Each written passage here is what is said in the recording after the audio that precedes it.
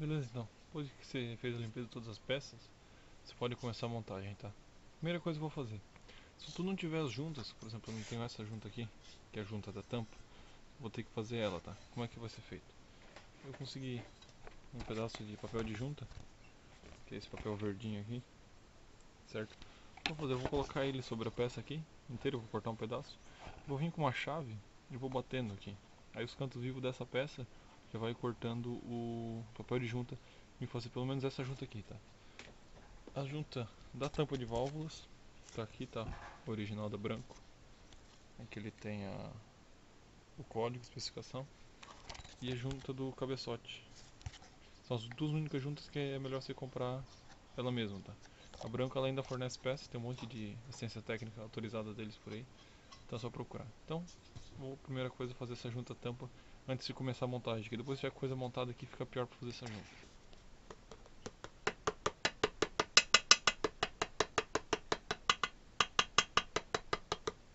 É, pronto. Ela dá um certo trabalho, tá? Fazer, tem que ficar batendo ali e tal. Pode ver que ela fica bem certinha. Só tu vir batendo, os cantos vivos aqui vai fazer a junta bem certinho, beleza? Aqui é a primeira peça que a gente vai montar. É o, o governador, tá? O, o, a engrenagem do governador, tá? Como é que o governador funciona? É, o governador pode ser conhecido como RAR, que é regulador automático de rotação. Como é que ele funciona? Essa engrenagem vai ligada na engrenagem do virabrequim e ele tem esse, esse centrífugo aqui. No momento que, que o motor começa a girar mais de 3.600 RPM, esse pino empurra o acelerador, o acelerador tá ligado lá no carburador, para a posição da marcha lenta? E toda vez que ele cai a rotação, ele acelera o motor para manter o motor sempre em até 3.600 rotações. Quem regula isso aí também é as molas que trabalham em cima do governador. Então quando a gente for chegar lá naquela parte, eu vou explicar como é que você vai regular a haste para você ter a regulagem certa aqui. Então a primeira coisa que entra ele, porque ele entra batido, esse pino é batido aqui no fundo do, da carcaça. Só vou dar uma limpada nele aqui no momento da preparação, eu não falei dessa peça, e ela ainda está suja.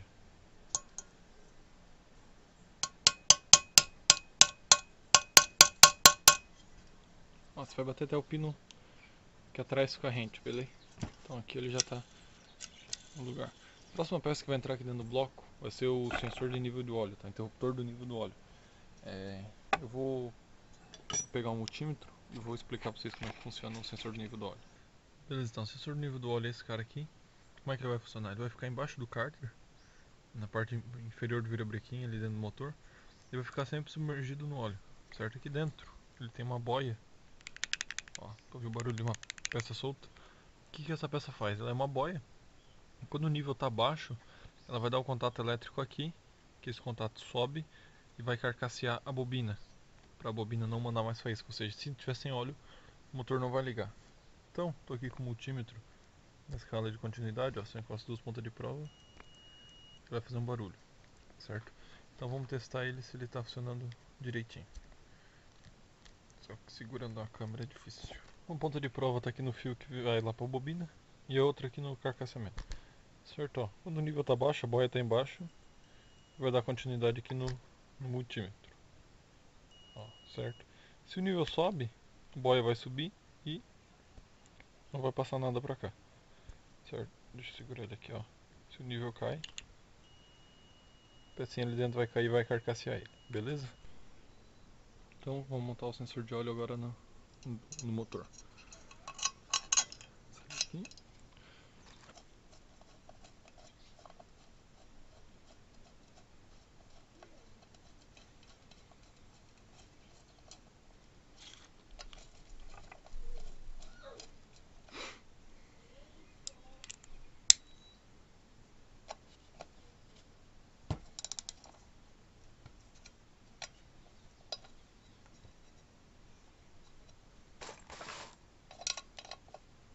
Agora que eu vou montar é a haste de acionamento do governador. Ela vai trabalhar aqui na frente desse, desse pino, tá? Você tem que botar sempre antes de vir o brequim. Porque depois é impossível.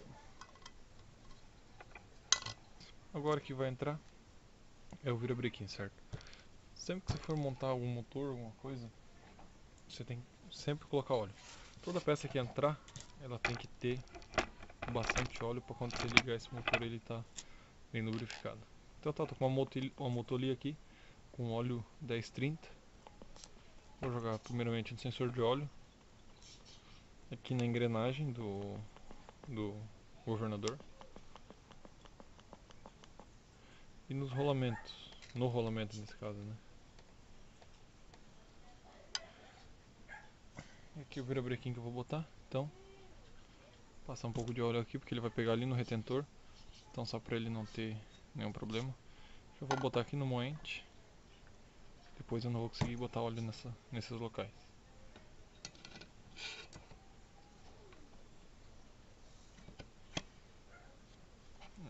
Pronto, está no lugar instalado. Montes dos motores estacionários, se você pegar até o 3 HP, você consegue montar ele, por ele ser leve também, você montar ele deitado, então o, todo óleo que você botar ele vai ficar sempre ali no fundo. Certo? Então agora, eu vou passar um pouquinho aqui o bloco do motor agora. Nós vamos partir para a montagem dos anéis no, no pistão. Certo? Então vamos fazer agora a montagem dos, dos anéis no pistão. Vou começar pelo anel de óleo. A primeira parte do anel de óleo que você bota é esse onduladinho, que é o que é uma das três partes desse, desse anel. Aí você vai botar o primeiro anel mais fino.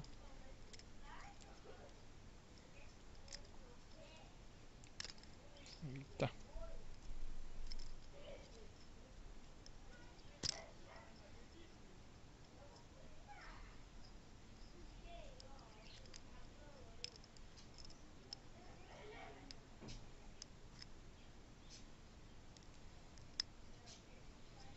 Certo, ó. Botei o anel embaixo, agora vou botar o anel de cima do anel de óleo.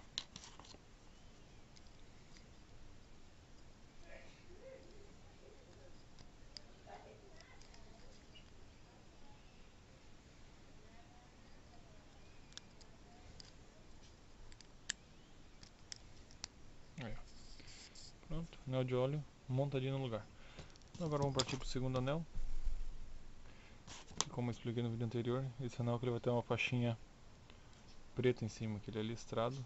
Em cima ele vai sempre ter uma faixinha preta, certo? E aqui na parte de cima ele tem essa marca, essa letra, tá? Bem aqui, ó. A câmera aqui infelizmente não consegue pegar. Então essa parte do anel é pra cima. E o primeiro anel, esse anel aqui, ele também tem uma letrinha bem apagadinha aqui que vai simbolizar a parte de cima do anel.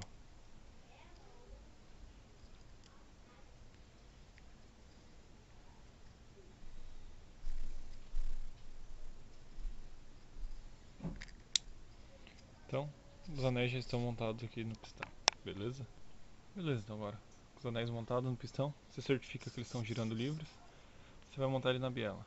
Como é que você vai saber qual é a posição da biela? Se ela é assim ou assim? Sempre no modo geral, a parte maior vai ser para baixo. Nos motores a partir do 5,5, aqui ela vai ter um furinho de lubrificação. Então esse furinho é para baixo, com o pescador de óleo também para baixo. Certo? Nesse modelo o furo de lubrificação é aqui atrás, então você não ia conseguir ter essa mesma referência.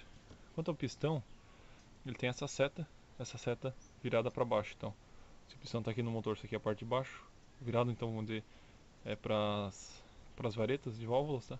Então, nesse sentido aqui.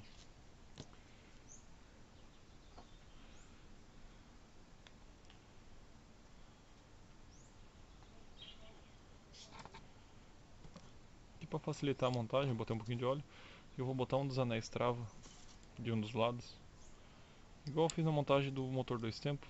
Quem puder acompanhar aquele vídeo lá. Certo?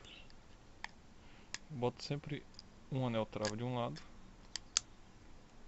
Tá porra. Isso aqui não tá afim de entrar. Porque depois quando você for botar o pino, ele vai ter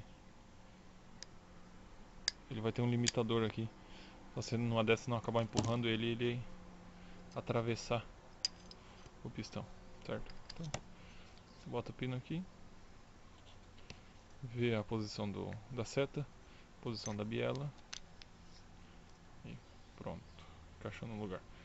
Agora você empurra um pouquinho com o alicate para ele calçar lá embaixo e vamos botar o outro outra trava. Essas travas aqui ainda são melhores que a dos motores 6,5. Os motores 6,5 são umas travinhas bem menor, que são bem mais fáceis de você perder elas. Essas aqui são um pouco mais complicadas de colocar no lugar.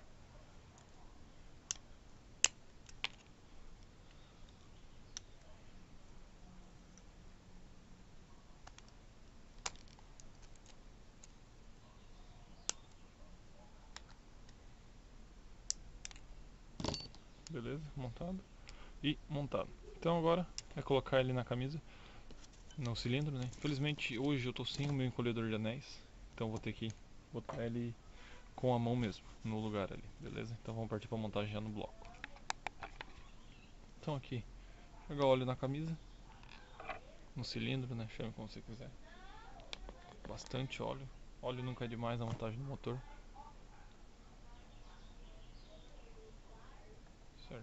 Depois ali, quando você for ligar ele, ele vai...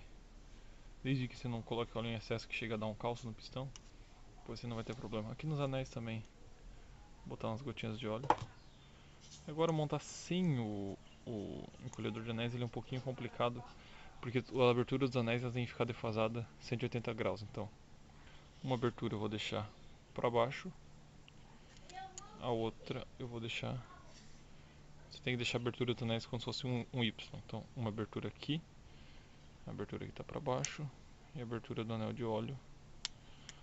Cadê aqui? Tem que puxar ela para cá. Beleza? Por quê? Porque se os anéis ficarem alinhados, esse motor ele vai acabar queimando óleo, tá? Então, ele tem que ficar defasado 180 graus. Até porque dentro do Dentro aqui do cilindro esses pistões vão acabar girando. O cilindro, os anéis, desculpa, eles vão acabar girando. Então, encostei ele ali. Eu vou utilizar aqui uma chave de fenda. Isso aqui é uma chave de teste, tá? Mas eu vou serve para mim usar. Só vou encolhendo eles para mim conseguir empurrar o pistão para dentro. Seria muito melhor com o encolhedor de anéis, que eu teria garantia que os pistões iam ficar na posição certa. E pronto. Montado pistão no lugar. Agora é só a gente montar lá a capa da biela. Vou girar o motor aqui na posição que fique mais conveniente. Aqui tá bom. Capinha da biela. Óleo. Como falei antes, nunca é demais.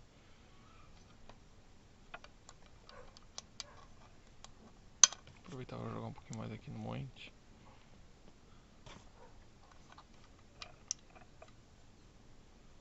Agora eu vou pegar os dois parafusos. Botar pelo menos aqui o acesso é muito ruim para tu botar, cara. Então tem que ter uma você tem que fazer umas jogadinhas aqui para você conseguir colocar ele no lugar. Então tá aqui montado, ó. Pistão no lugar. Certo? Se verificar se o movimento dele tá livre. Tá daqui com dentro da camisa. Beleza? Se ele não não tá prendendo nem nada. Depois feito isso aí, os próximos pecinhos que vão entrar vão ser os tuchos. Você tem que achar esses dois rapazinhos, estão escondidos aqui.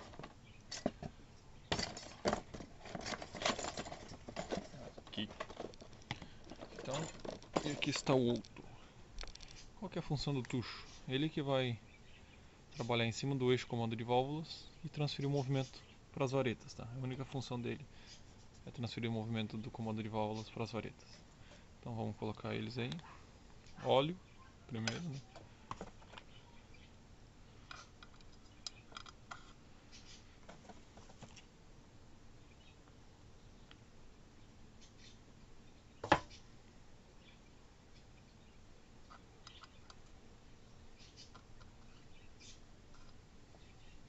Depois de colocar os tuchos, aí a gente vem com o comando de válvulas, que é esse rapazinho aqui, certo?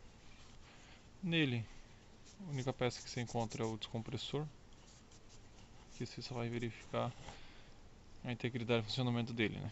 O descompressor ele trabalha aqui em cima da válvula de escape, do came da válvula de escape. Na hora que ele está rotação baixa, no momento que o pistão está subindo, ele alivia um pouco a compressão do motor para ele ficar mais leve para você conseguir ligar ele. Depois que o motor entra em giro, essa peça aqui joga, é jogado para fora e ela cai e a compressão do motor fica normal. Normalmente o que dá problema é aqui, desgaste nessa ponta ou estoura essa mola aqui de retorno dele, certo? Então, fora isso não tem mais nada. Você colocar ele no ponto, você vai achar o primeiro ponto do virabrequim, que ele está bem aqui, ó, bem pequeno aqui, ó, o pontinho. Você tem que coincidir com o ponto do comando de válvulas. Então vamos botar óleo lá no alojamento dele. Vamos botar óleo aqui nos, nos cames. E aqui ó, ele já tem um ponto um pouco maior. Você vai alinhar os dois na posição. Aqui ele ficou fora. E aqui ó. Certo? Vou mostrar para vocês o alinhamento mais de perto. Beleza. Os dois pontos tem que estar tá coincidindo perfeitamente. Então, a última peça que tinha para entrar dentro da carcaça era o eixo comando de válvula, certo? Então agora é colocar a tampa e torquear ela. Agora então vamos partir para a montagem da tampa. Opa. Certo? Aqui está a tampa. Deixa eu só mudar a câmera um pouco. Ela só tem o rolamento e o alojamento do, do, do comando de válvulas é aqui do lado, certo? Então o que eu vou fazer? Vou pegar a junta. Deixa eu passar assim. A junta aqui eu vou passar. Vou botar ela aqui no. Aqui em cima pra vocês conseguirem ver. Isso. Eu vou passar óleo nessa junta. Certo? Para ela ter um assentamento melhor. Também para eventualmente na próxima manutenção. Esse óleo ainda vai se manter aqui. E vai facilitar a retirada dessa junta para fazer uma troca.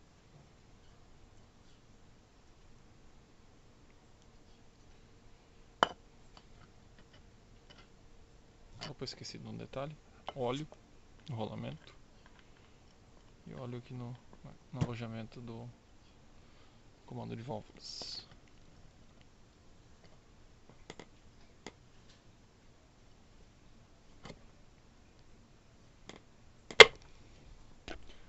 Então vamos partir agora a montagem do cabeçote, tá? Primeira peça que entra. Juntinho do cabeçote. Não tem erro, tá? As furações vão bater todas certinho aqui. Beleza? Botou a junta. Vou montar agora o cabeçote. Certo? Vou colocar as válvulas aqui no lugar. Botar a válvula de admissão. Aí a mola vai estar aqui em cima. Aí o prato da, da mola da válvula.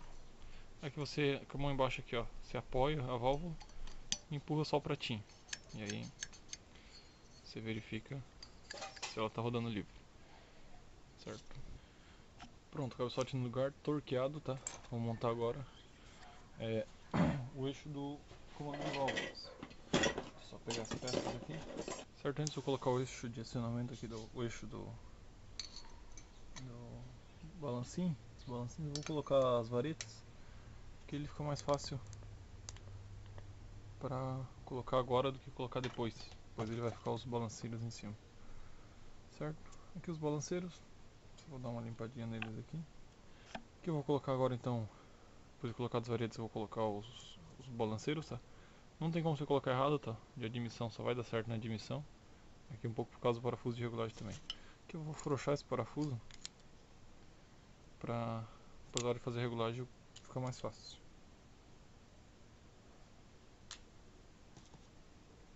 Beleza, então vou passar aqui o eixo, botar óleo aqui no eixo. Olha aqui no, nos mancaizinhos.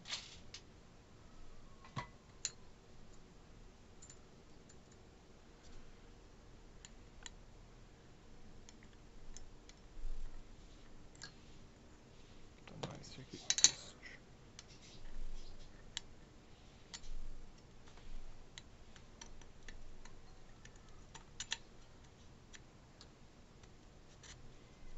Nem todos os motores estacionários são assim, tá? Os 5,5, 6,5 são completamente diferentes e o parte de acionamento deles aqui, tá?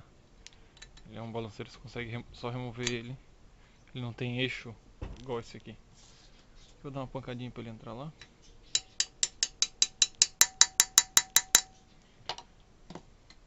Certo?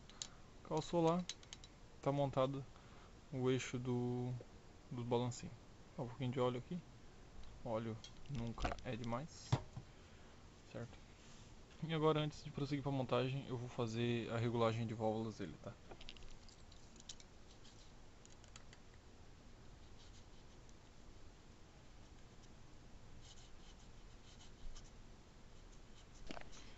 Beleza, então tá instalado aqui o tá regulado aqui as válvulas, desculpa. As folgas são 10 na admissão, 15 no escape, tá? Como é que você vai achar o ponto do motor, tá? Você vai deixar o motor no terceiro tempo, tanto você vai descer o, o cilindro, você vai virar o, o, volante que é mais ou menos 15 graus, ele não mexe as válvulas, certo? Aí você regula as válvulas aqui.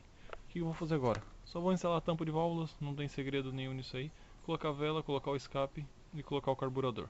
Tem, não tem nenhum segredo. A parte de montagem das carenagens, das capas dela, tem segredo nenhum. A única parte que vai ter algum segredo é na regulagem do governador. Então, vou voltar com a parte do vídeo quando eu estiver aqui na parte de regulagem. Beleza, então tá montado aqui o motorzinho, tá?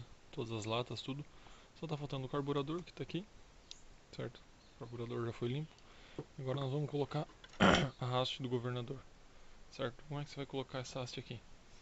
É, aqui nesse pino de acionamento, se você mexer qualquer um deles, exceção do 13, que o 13 ele trabalha para outro lado, mas o 5,5, 6,5, esse aqui que é 2HP, ele vai sempre, a, a haste vai estar tá trabalhando para cá, que é pro lado da engrenagem.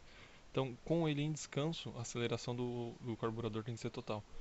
Então, o que você vai fazer? Você vai botar a haste do, do governador aqui em cima, certo?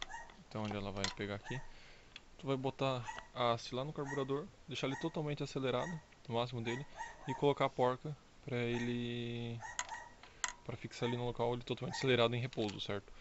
Daí com a chave de fenda você vai ficar forçando ele para cá, porque quando ele trabalhar ele vem para cá, ele trabalha por esse lado aqui para desacelerar o motor. Essa é a função do governador, tá?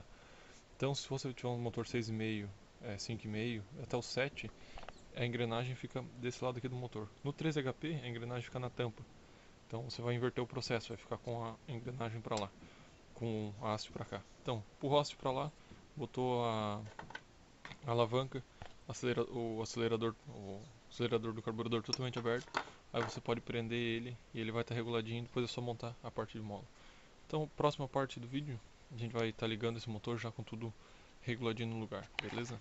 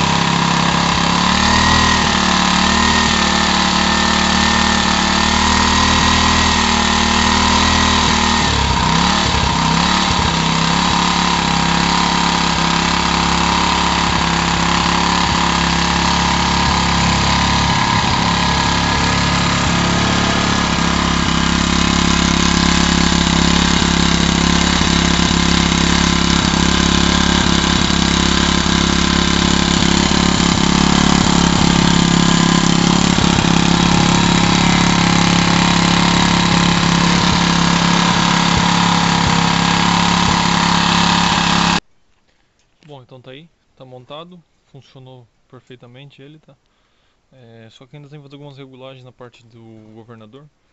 Isso aí você regula nesse parafuso aqui que vai dar o batente dele, certo? E aqui você regula o limitador da rotação dele. Eu ainda tenho que refazer essa parte aqui do interruptor, que os fios ainda estão aqui fora. Eu, tenho, eu vou refazer esses conectores que eles são muito antigos. Certo? Então é isso aí. Espero que tenha esclarecido algumas dúvidas e se alguém ainda tiver alguma dúvida quanto aos motores estacionários, pode deixar aí no comentário que, que eu puder ajudar, eu vou ajudar. Beleza? Então, muito obrigado por ter assistido. Até o próximo. Valeu!